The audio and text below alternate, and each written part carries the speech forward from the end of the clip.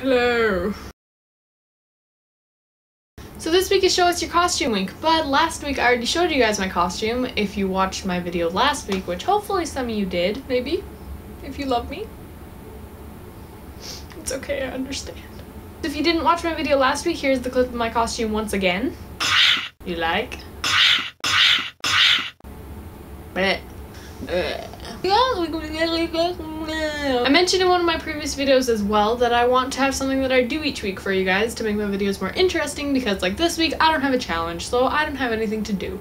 So I am going to do a quote of the week. Melissa has a journal with some quotes in it and she's gonna read some to you. Woo, yeah, woohoo, Melissa's awesome, yeah, woo. Yeah. This week's quote comes from Bertie Gilbert, and he says, If you don't have weird moments, then you're weird. I enjoy this quote because I am a very strange person and it makes me feel good about myself. This will conclude Melissa's quote of the week. Thank you for watching. I felt it necessary to film that part in a British accent because Bertie is British. That's how it works. Along with the quote of the week, I also wanted to do a clip of the week, so I would just film something random that happened in my week and show you guys, so here is that now. After a long day of battling noobs on my DS, I only choose Smart Water.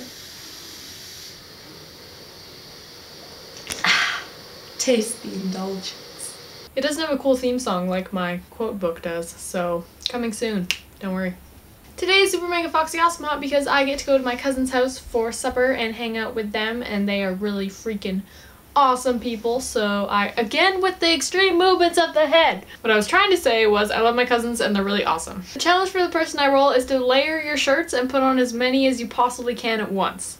The person that is going to do this challenge is number 5, so that would be Adara. This shall conclude my video, so DFTBA Sling, I will see you Tom Naro. Actually, before I go, I want to tell you a funny story. So Steph mentioned in her video that Izzy, Adara, and I never say Tom Naro, because I didn't understand the whole Tom Naro thing. I went and actually googled Tom Naro because I thought it was a person, and he didn't show up anywhere. So that was kind of stupid of me.